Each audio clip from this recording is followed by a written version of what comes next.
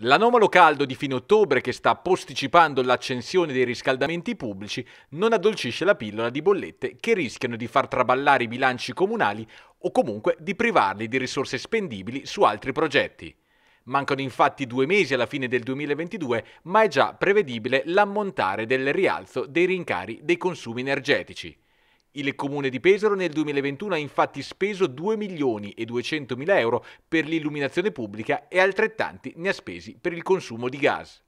La previsione di fine anno è che ne verranno spesi 3 milioni e mezzo per la luce e 3 milioni e 800 mila euro per il gas.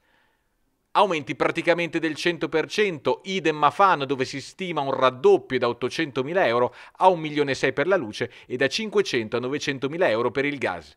Rincari che invece ad Urbino sono stati in settimana anche al centro del Consiglio Comunale che ha previsto una variazione di bilancio con quasi 400.000 euro destinati a colmare il gap del rincaro dei costi.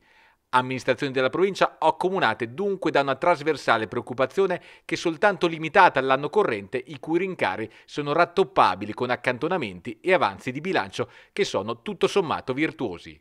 La vera angoscia è piuttosto sul 2023, che rischia di avere un effetto sismico meno gestibile senza un'inversione di tendenza nazionale sulla gestione del caro energia.